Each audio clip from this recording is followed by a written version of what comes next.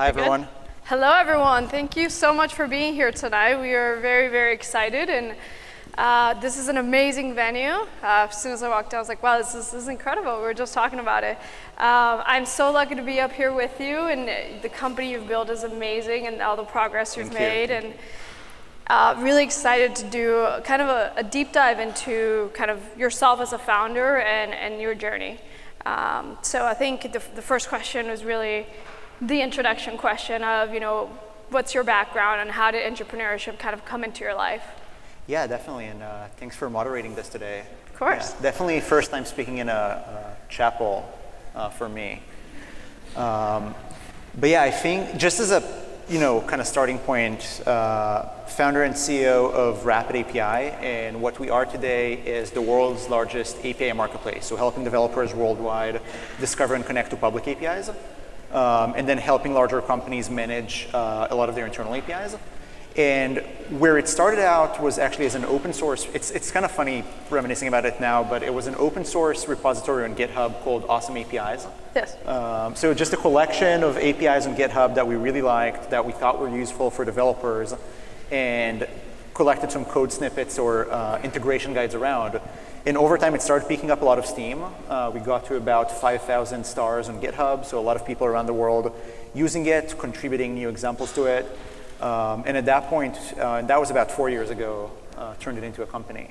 Oh, that's, that's great. And did you, did you see it as a company when you were started working on it? Or how did you go about really being like, this is actually a company, I'm going to get a team and start working on it? Yeah, um, and it's funny because initially it started um, as this, again, open source project, mostly deployed to developers uh, around hackathons, um, doing some POCs, doing some side projects, but we didn't necessarily see it as a tool. Um, and back then, you know, APIs were starting to pick up steam, but even APIs themselves weren't that widely adopted. Uh, so we start, we, didn't necessarily see it as a tool that real businesses are going to be using to build real software initially. Um, and one of the catalysts for us realizing that you can actually turn that into a business was actually just seeing the API economy as well growing. Right. Um, so Twilio, uh, SendGrid, Stripe, like all these companies raising massive rounds. Right, right, right. And so, you know, I'll, I'll give myself a quick context on, on myself and who I am from the introduction. So I, I am a principal at Unshackled Ventures, and we are a pre-seed fund that focuses on immigrant founders. And so uh, we look for founders just like you. and we are really excited to uh, kind of tackle the barriers that we see can hold back some of the most amazing entrepreneurs, uh, which are immigrant entrepreneurs. Uh, that includes both access to capital, uh, a network, and obviously a lot of immigration support. So it's, kind of a little bit about me. So I would love to kind of understand how you came together with your team. So your co-founders is kind of like the, the first question that comes to mind when you're starting is, okay, you have, a, you have an idea, you have a company that you built from kind of some of these early projects, but who, who was your team and how did you go about this, especially being from a pretty distributed team, it seems like? Yeah, yeah, and um, you know, today our team is mostly concentrated between engineering, which is still based out of Tel Aviv, Israel, where I'm from, um, and our entire sales, um, sales marketing product team that are out here in San Francisco. I think building out the team in Israel was easier. Um, those were the people that I, a lot of them I grew up with, or I knew pretty early on. Uh, a lot of them were also contributing to the project, or I knew around hackathons and events in Tel Aviv even before um, before starting the company. So those were kind of like the, hang, the low hanging fruits for us. Um, the tougher part for me was building out the team uh, out here. So moving out here uh, about three years ago, three and a half years ago even, um, not knowing anybody, not having that network, um, and not necessarily knowing how to appeal for um, recruits out here that we're trying to bring on, that was the toughest part in building the team.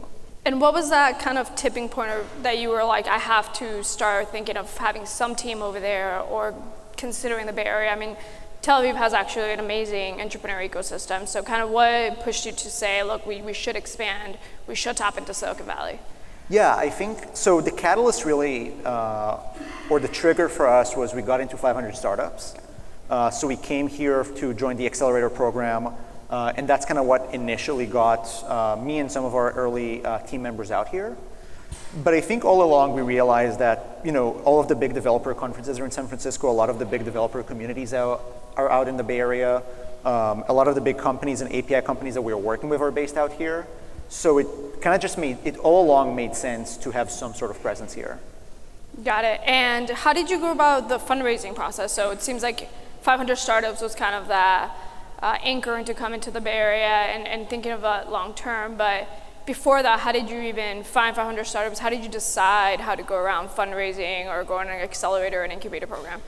Yeah, so when we, when, when we kind of flipped it from an open source project into a real company, we raised uh, $500,000 from a local angel in Israel.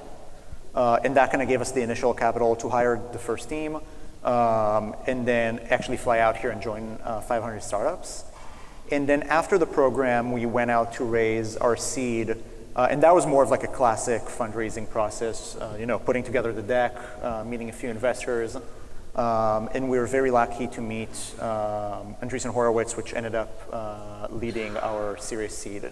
That's great. It's, yeah. it's an amazing fun. So, you know, being from not the Valley, uh, what do you think were some of those key either decisions or barriers that you kind of really had to go through to get into the door of some of those bigger funds? I mean, obviously, a lot of these funds are very warm intro is a must or entrepreneur, portfolio company introduction? Like how, how did you, did you know that this was a thing before? Did you, was it based on good advisors or 500?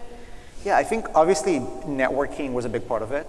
Um, and that's again where I think coming out here, actually doing the 500 startup program for uh, four months, going through that process was a great catalyst in like building that initial network mm-hmm. um, of people that you know and the second, what was early on a barrier for me um, was just learning how to, you know, it sounds kind of funny, but I think everybody here who uh, moved into the Bay Area, especially internationally, can relate.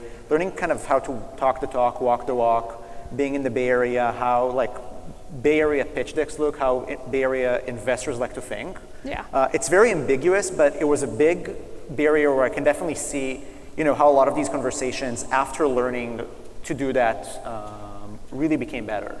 Yeah, of course. And so, and I think a lot of really good companies don't get a good shot at it because they don't know some of the soft rules of, of the game, I guess. Yeah, and the, and the terminology that you use, the, um, you know, the positioning, the ambitions of the company, um, and even just understanding that, you know, it's a different magnitude and different orders of scale that some of the investors here are looking for. And as an entrepreneur for other, you know, entrepreneurs here, what are some of like the tools or resources you use to really kind of catch up to what is the language and some of those? Was it mostly advisors and mentors, other entrepreneurs? I think it's just deep immersion, um, like trying to you know come out here early on, meet as many people as we can. Uh, again, the accelerator was uh, really great for that. Uh, doing a lot of you know networking event and social event just to get to know other people in the industry, um, and you know, if you're doing that deep immersion and your, your eyes are open, you're trying to pick up those, uh, those skills, um, then it's not impossible to do. Yeah, no, I, I yeah. definitely agree with that. So let's move a little bit more internal now. So aside from the fundraising and extra investors, which many times, you know, you don't have a lot of control of. Even in the best scenarios, it really is conversation for conversation. Um, what were some of the, do you think, some of the key early strong decisions that you made that set you up for a really good fundraise, either yeah. for 500 or post 500 that you think a lot of entrepreneurs you know, should focus on more or really kind of gets them through the finish line? Yeah, that, that's actually a really good question. Um, and it's a funny point just on your comment to have not a lot of control. I, I don't think a lot of people get, get that in you know, we've kind of been lucky or unlucky in a sense to be on both sides of it. But for fundraising, I feel like when it's going well, it's a stressful process, and yeah. when it's not going well, it's a stressful process. Yes. uh, like no, I, I, don't think a lot of people actually enjoy doing it. Um, but I think that the things that make us good or that uh, set up set us up well uh, for fundraising a lot of it was just building those relationships earlier on with investors, especially as we were not looking for capital, just mm-hmm. actually getting to know the people on the other side, uh, showing them where, where we were going to go, and then actually delivering on these promises, or sometimes not delivering, and, but being able to explain why or why we pivoted or changed strategy. I think that just built a lot of trust for us um, early on with uh, venture capital firms that we later uh, went to actually fundraise from. Um, and then another tech, like, this is kind of like a technical point, but it did end up being helpful for us was pretty early on flipping on flipping from being a foreign entity to being actually a Delaware US based entity. Um, it sounds technical, it sounds insignificant, but it just helps move in the process. Oh yeah, yeah, for with sure. a lot of these. I uh, think funds. we've this is something we've seen as well, and, and we work with our portfolios as part of kind of the onboarding process. Is Delaware incorporation just allows for that conversation to be smoother, and you don't want to get bugged in those like legal facts. Um, so I think you actually bring up an, a great point on building those relationships with investors early, um, and I think.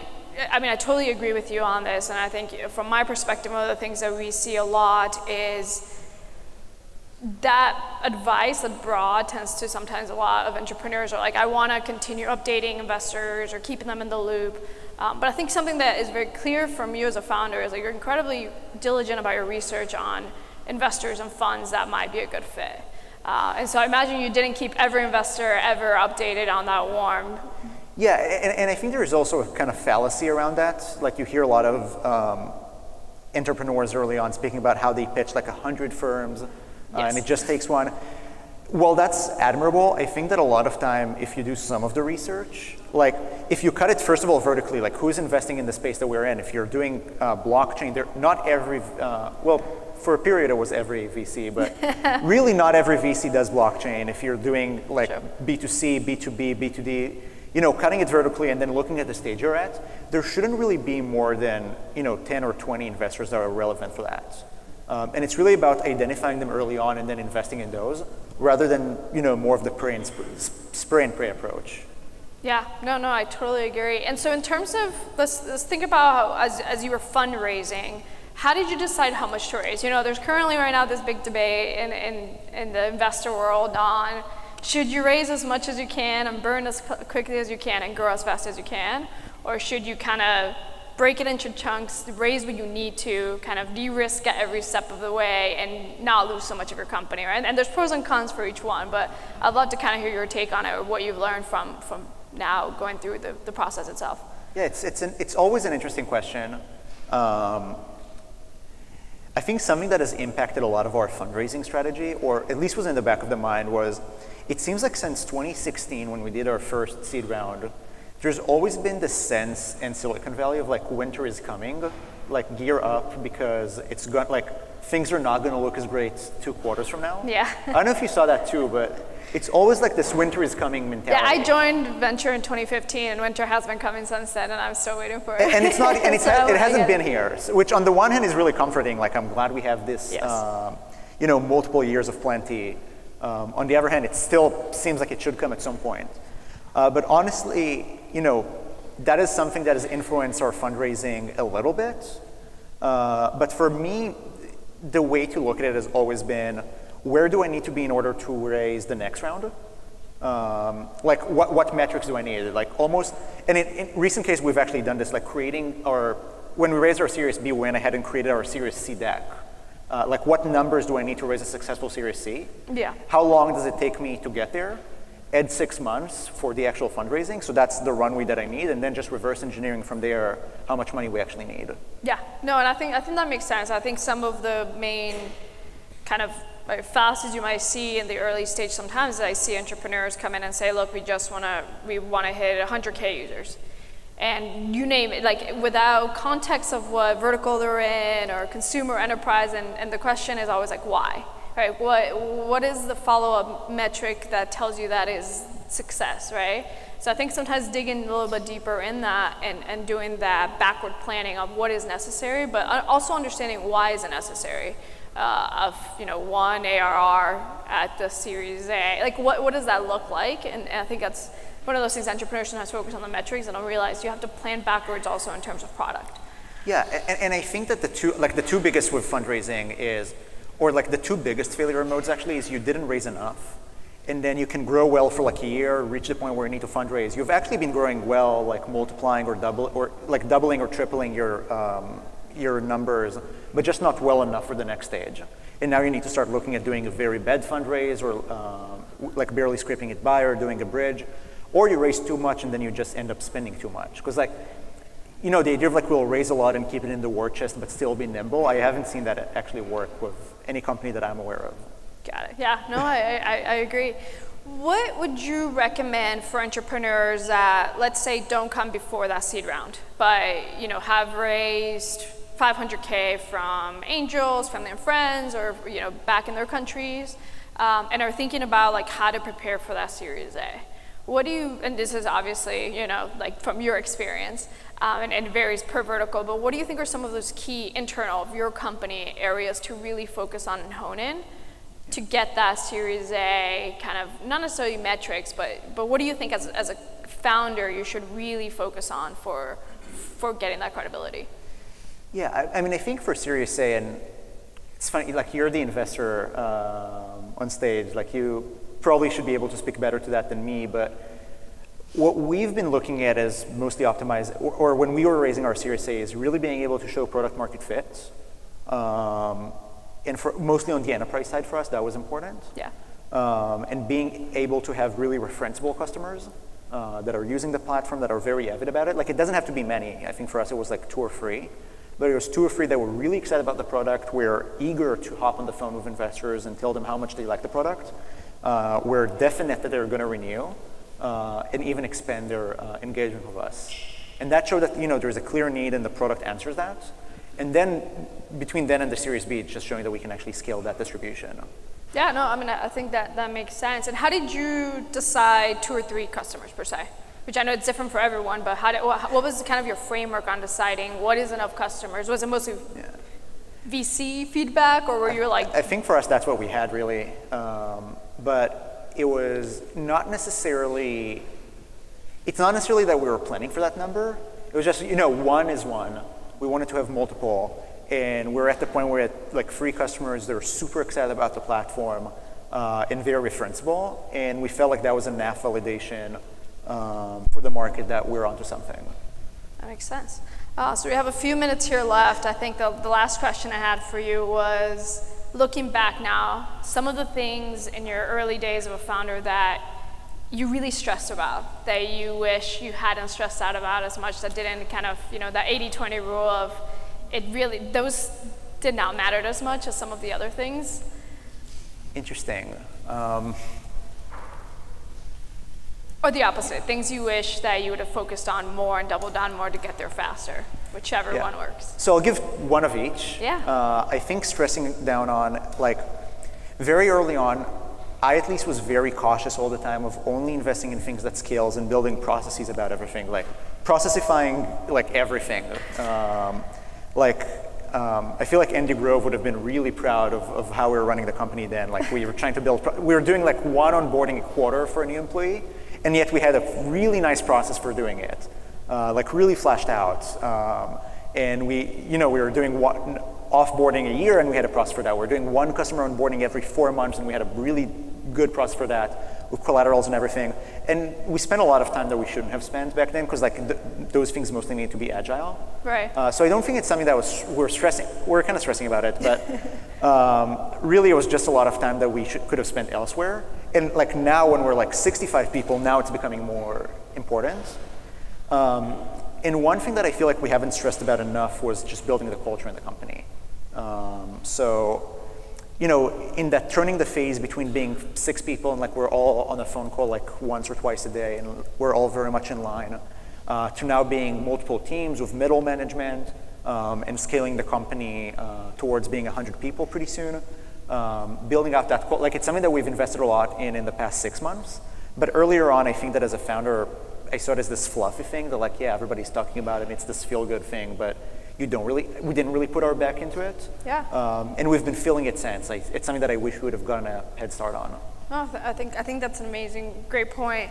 Um, we have actually for one more question, which I think will be great for, for this audience and for your background and my background. I'm, I'm Colombian, so you're an immigrant. Uh, how do, has that experience kind of do you think have helped you as a founder? Is it a different framework? Is it helpful in having a you know team abroad that is a lot more capital efficient? Like, what do you think was some of the superpowers that you have as an immigrant founder uh, that you think other founders should really leverage? Yeah, I think having team abroad for us was really helpful in terms of you know staying capital efficient and being able to scale and hire from now two pools of human capital. I think that was really good. Um, for me, I think, and I know that we're out of time, so I'll keep this short, but I think for me the biggest uh, benefit was having two cultures or two sets of experience to draw on, like how things are normally done in Bay Area, how things are normally, or what the Israeli in me would do, mm-hmm. and being able to kind of mix and match between the two. And sometimes, you know, have a little chutzpah for me, or like use a little bit of that like Israeli, um, like not giving a, um, not, not caring too much mentality, Yeah. um, and doing what I think should be done, um, and using that to our advantage, which kind of works sometimes. Well, I, I, I couldn't say better myself. Well, thank you so much for uh, sitting down with me and having this chat. I hope the audience found it helpful, but we were heading out on our way. Yeah, thank, you, all. and uh, congrats everyone. Thanks for coming.